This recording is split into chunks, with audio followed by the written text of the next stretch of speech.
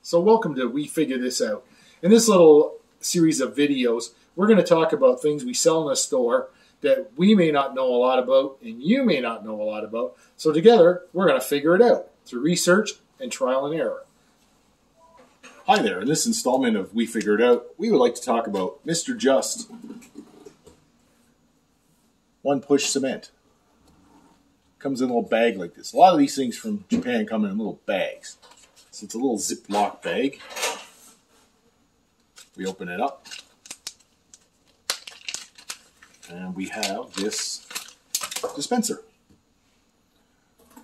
So what we have in effect is a cyanoacrylate or super glue that comes in this groovy little dispenser. There's a little button on the side. You place it where you want it. You press the button and it dispenses one drop. Now this is thin, very fast CA.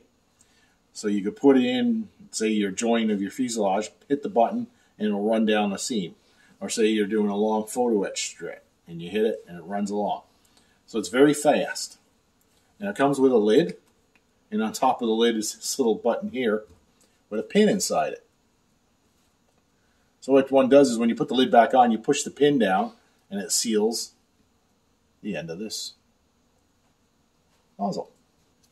Also included in the bag are two precision tips, little nylon precision tips, which would be very handy for precise application of glue.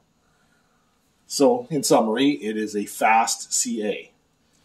They call it SP the SP is superpower, meaning very fast. So it speeds up your modeling time and efficiency of building your models.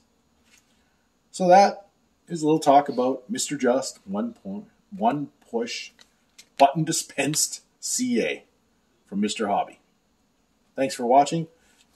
If you like what you see, leave a comment below. If you've used the product and you want to share your experiences, please leave that below. And if you have any suggestions of what you'd like to see on this series, please leave that as well. Thanks for watching. Have a great day.